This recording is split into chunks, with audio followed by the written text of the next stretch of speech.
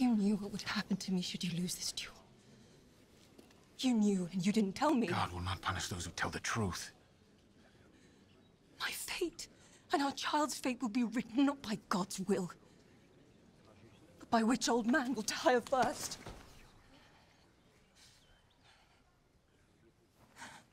How dare you speak to me this way? What if I to lose? I begged you to find another way, and now I might be burned alive. I am risking my life for you. Hmm. You are risking my life so you can fight your enemy and save your pride. And that could render our child an orphan. Or did you not think of that?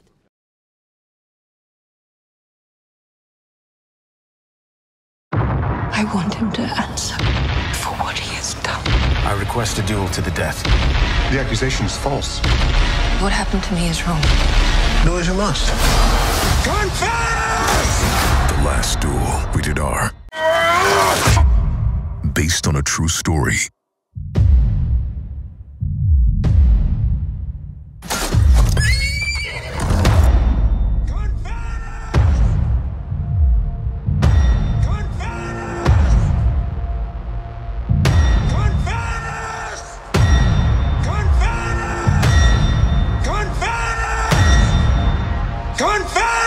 The Last Duel, rated R. Only in theaters. I am telling the truth. I want him to answer for what he has done.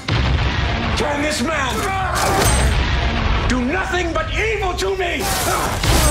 I am innocent of the crime! I request a duel to the death. The accusation is false. What happened to me is wrong.